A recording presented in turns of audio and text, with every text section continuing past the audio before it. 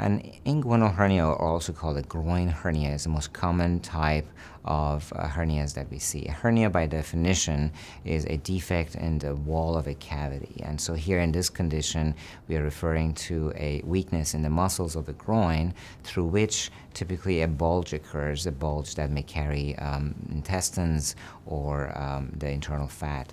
And so, as a result, patients uh, may experience pain, discomfort, uh, and of course, there's a cosmetic effect to it as well.